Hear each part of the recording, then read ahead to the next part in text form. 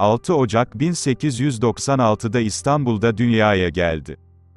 İlerleyen zamanda da Birinci Dünya Savaşı çıkar ve savaşa katılarak yaralanır. Yaralandığı için, doğduğu yer olan İstanbul'a döner. Daha sonra da, Yeşilköy Tayyare Mektebi'nde, pilotluk için eğitimi almaya başlar. Eğitimler sonunda ise, bir pilot olarak mezun olur. Birinci Dünya Savaşı devam etmektedir ve kendisi 7. Tayyare Bölüğü'nde pilot olarak görev alır. Ruslara karşı, bombardıman uçuşları yapar. Savaş ilerlemektedir ve Vecihi Hürkuş, Ruslara esir düşmüştür. Ancak, Hazar denizinde bulunan Nagir adasından yüzerek, İran'a oradan da yurduna geçerek, 9. Harp Tayyare bölümünde, görev alır. Zaman ilerledikçe, askeri havacılıktan ayrılan Vecihi Hürkuş, kendi uçak tasarımlarını yapar ve üretimini yapmak için, çalışmalara bile başlar. Bu çalışmalar ve azim, elbette meyve vermeye başlar, bu çalışmaların sonunda, ortaya, Vecihi K-6 çıkar. Vecihi Hürkuş, malum savaş pilotluğu yapmış olduğundan dolayı, birçok ülkenin birçok model uçağı ile uçuş gerçekleştirmiştir. Alman, Fransız, İtalyan ve İngiliz tipi uçakları örnek verebiliriz.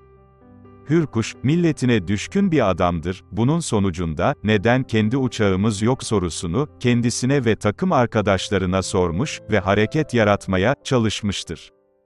Haziran 1923'e gelindiğinde, Edirne'de arızalandığı için, terk edilen bir İtalyan uçağını almak için arkadaşı Eşraf ile memur edilir, giderler kısa zamanda uçağı tamir ederler ve iki motorlu Caproni tipinde uçağı, Edirne'den, İzmir'e getirirler. O zamanki Hava Kuvvetleri Müfettişi Albay Muzaffer Bey'i çok etkilenmiştir ve getirilen uçağın ismini, Vecihi, olmasını ister, Vecihi Hürkuş ise, bu olaydan etkilenip, ona kendisini yapmak istediği Türk uçak projesini sunar ve kabul edilir. 23 Haziran 1923 yılı gelir ve Cumhuriyet ilan edilmeden Vecihi K6'yı tasarlar ve teknik çizimlerini de kısa sürede bitirir. Uçağın motoru hariç diğer parçalarını kendi ekibi ile yapmıştır. Uçağın motoru Yunanlılardan ele geçirilen uçakların motorlarından yararlanılarak yapılmıştır.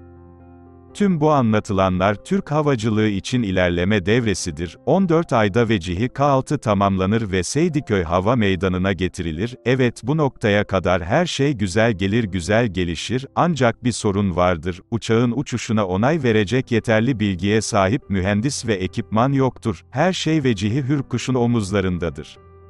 Bu noktaya kadar gelen ve kendisine güvenen Hürkuş, uçuşunu yapar ve 15 dakika olan standart test uçuşunu tamamlar ve güvenli bir şekilde yere iner. Türkiye'nin ilk sivil hava yolu şirketi olan Hürkuş Hava Yolları'nı 29 Kasım 1954 tarihinde kuran Hürkuş, Türk Hava Yolları'nın elden çıkarttığı uçakları alıp onararak filosunu kurdu, ancak uçaklarına düzenlenen sabotajlar, uçuşlarının gerekçesiz yere iptal edilmesi gibi nedenlerden dolayı bu projesini verimli bir şekilde sürdüremedi.